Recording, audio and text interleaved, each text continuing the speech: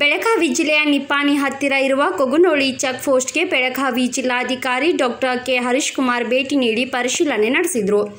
ಜಿಲ್ಲೆಯಲ್ಲಿ ಕೋವಿಡ್ ಪ್ರಕರಣಗಳು ಹೆಚ್ಚುತ್ತಿರುವ ಹಿನ್ನೆಲೆಯಲ್ಲಿ ಜಿಲ್ಲಾಡಳಿತ ಬಿಗಿ ಭದ್ರತೆ ಕ್ರಮಗಳನ್ನು ತೆಗೆದುಕೊಳ್ಳುತ್ತಿದ್ದು, ಹೊರ ರಾಜ್ಯದಿಂದ ಆಗಮಿಸುವ ಪ್ರಯಾಣಿಕರ ಮೇಲೆ ಹದ್ದಿನ ಕಣ್ಣಿಟ್ಟಿದ್ದು, ಪರಿಶೀಲನೆ ಮಾಡಲು ಕರ್ನಾಟಕ ಗಡಿಯಲ್ಲಿರುವ ಕೊಗುನೊಳ್ಳಿ ಬಳಿ ಚೆಕ್ ಪೋಸ್ಟ್ ನಿರ್ಮಿಸಲಾಗಿದೆ ಎಂದು ಜಿಲ್ಲಾಧಿಕಾರಿ ಡಾಕ್ಟರ್ ಕೆ. ಹರೀಶ್ ಕುಮಾರ್ ಅವರು ಭೇಟಿ ನೀಡಿ ಪರಿಶೀಲನೆ ನಡೆಸಿ ಬಳಿಕ ಮಾಧ್ಯಮಗಳ ಜೊತೆ ಮಾತನಾಡಿದರು.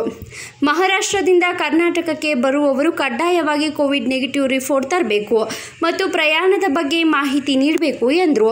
ಜಿಲ್ಲೆಯಲ್ಲಿ ಆಮ್ಲಜನಕ ಕೊರತೆ ವಿಚಾರವಾಗಿ ಮಾತನಾಡಿದ ಅವರು, ರೋಗಿಗಳಿಗೆ ಔಷಧಿ ಹಾಗೂ ಆಮ್ಲಜನಕ ವ್ಯವಸ್ಥೆ ಮಾಡಿದ್ದೇವೆ. ನಮ್ಮ ಜಿಲ್ಲೆಯಲ್ಲಿ ಆಮ್ಲಜನಕ ಕೊರತೆ ಇಲ್ಲ. ಬೇರೆ ರಾಜ್ಯಕ್ಕೂ ನಾವು ಆಮ್ಲಜನಕ ಕಳುಹಿಸುತ್ತಿದ್ದೇವೆ. ನಮ್ಮ ಎಲ್ಲ ಅಧಿಕಾರಿಗಳು ಸರಿಯಾಗಿ ಕಾರ್ಯನಿರ್ವಹಿಸುತ್ತಿದ್ದಾರೆ ಎಂದು ಹೇಳಿದರು. ಜಿಲ್ಲೆಯಲ್ಲಿ ನಕಲಿ ಕೊರೋನಾ ಔಷಧಿ ಮಾರಾಟ ವಿಚಾರವಾಗಿ ಮಾತನಾಡಿದ ಅವರು, ನಾವು ನಮ್ಮ ಜಿಲ್ಲಾದ್ಯಂತ ತನಿಖೆ ನಡೆಸಿದ್ದು, ಐಜಿ ಬೆಳಗಾವಿ ಇವರ ನೇತೃತ್ವದಲ್ಲಿ ತನಿಖೆ ನಡೆಸುತ್ತಿದ್ದೇವೆ. ಎಲ್ಲ ಆಸ್ಪತ್ರೆಗಳಲ್ಲಿ ವೈದ್ಯರಿಗೂ ತೊಂದರೆ ಕೊಡದೆ ತನಿಖೆ ನಡೆಸುತ್ತಿದ್ದೇವೆ. ಮಾರುಕಟ್ಟೆಯಲ್ಲೂ ಕೂಡ ತನಿಖೆ ನಡೆಸುತ್ತಿದ್ದೇವೆ ಎಂದು ಸ್ಪಷ್ಟಪಡಿಸಿದರು. ಪ್ರಯತ್ನ ಮಾಡ್ತಾ ಇದ್ದೀವಿ. ವ್ಯಾಕ್ಸಿನ್ ಬಂದಾಗ ವ್ಯಾಕ್ಸಿನ್ ಕೊಡ್ತೀವಿ. ಜನ ಕೂಡ ಯಾವುದೇ ಹಿಂಜರಿತ ಇಲ್ಲದೆ ಇಲ್ಲಿ ತಗೊಳ್ತಾ ಇದ್ದಾರೆ. ಮತ್ತು ಮೆಡಿಕಲ್ ಫೆಸಿಲಿಟಿ ಏನಿದೆ? ನಮ್ಮಲ್ಲಿ ರೆಮ್ಡೆಸಿವಿರ್ ಇಂಜೆಕ್ಷನ್ ಇದೆ. ಅದರ ಜೊತೆಗೆ ಆಕ್ಸಿಜನ್ ಕೂಡ ಇದೆ. ನಾವು ಅದನ್ನು ಟೆಸ್ಟ್ ಮಾಡಲಿಕ್ಕೆ ಅವಕಾಶ ಕೊಡಬಾರ್ದು ಅಂತ. ನಾನು ಜನರಲ್ಲಿ ಏನು ಕೋರಿಕೊಳ್ಳೋದು ಅಂತ ಹೇಳಿದ್ರೆ ನಮ್ಮ ಮೆಡಿಕಲ್ ಫೆಸಿಲಿಟಿಯನ್ನು ಟೆಸ್ಟ್ ಮಾಡದ ಹಾಗೆ ನಾವು ಕೆಲಸ ಮಾಡ್ಬೋದು. ಏನಂತ ಹೇಳಿದ್ರೆ ನಮಗೆ ಸೋಂಕೆ ಬರದ ಹಾಗೆ ನೋಡ್ಕೊಳ್ಳುವಂಥದ್ದು ಮತ್ತು ಕೋವಿಡ್ ಅಪ್ರಾಪ್ರಿಯೇಟ್ ಬಿಹೇವಿಯರ್ ಅಂತ ಏನು ಹೇಳ್ತಾರೆ? ಮಾಸ್ಕ್ ಹಾಕೊಳ್ಳೋದು, ಮೂರು ಅಡಿ ದೂರದಲ್ಲಿ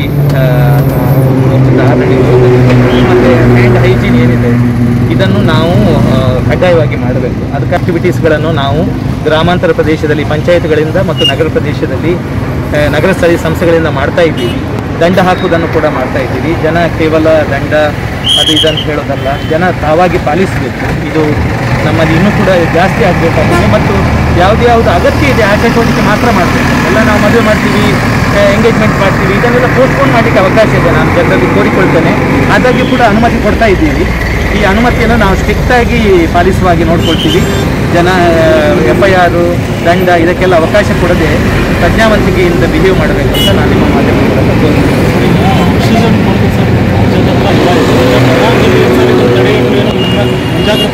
ಇಲ್ಲ, ನಮ್ಮ ಮೊದಲ ಮೊದಲ ಮೊದಲ ಮೊದಲ ಹಂತ, ಇಲ್ಲ, ನಮ್ಮಲ್ಲಿ ಡ್ರಗ್ ಕಂಟ್ರೋಲರ್ ಏನಿದ್ದಾರೆ ಮಾನಿಟರ್ ಮಾಡ್ತಾ ಇದ್ದಾರೆ. ಹೌದು, ಮೊದಲ ಹಂತದಲ್ಲಿ ನಮ್ಮಲ್ಲಿ ಆಕ್ಸಿಜನ್ ಸಮಸ್ಯೆ ಇತ್ತು.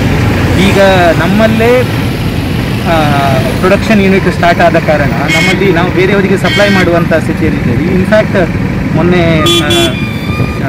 ಮಹಾರಾಷ್ಟ್ರ ಸರ್ಕಾರ ಒಂದು ಆದೇಶ ಮಾಡಿತ್ತು. ಏನಂತ ಹೇಳಿದ್ರೆ ಕರ್ನಾಟಕಕ್ಕೆ ಕೊಲ್ಲಾಪುರದಿಂದ ಇನ್ನು ಕೇಂದ್ರ ಸರ್ಕಾರ ಹೇಳಿದೆ, ಯಾವ ರಾಜ್ಯದಿಂದ ಯಾವ ರಾಜ್ಯಕ್ಕೂ ಕೂಡ ಆಕ್ಸಿಜನ್ ಮೂವ್ಮೆಂಟನ್ನು ಸ್ಟಾಪ್ ಮಾಡಬಾರ್ದು. ಮತ್ತು ಯಾವ ರಾಜ್ಯವೂ ಕೂಡ ನಾನು ಇನ್ನೊಬ್ಬನಿಗೆ ಕೊಡೋದಿಲ್ಲ ಅಂತ ಹೇಳಬಾರ್ದು ನಮಗೆ ಬೇಕಾದಷ್ಟು ನಮ್ದಿದೆ ಆಕ್ಸಿಜನ್ ಏನು ಸಮಸ್ಯೆ ಇದೆ. Medicine bureau report, Bharat Vaibhav news, Belagavi.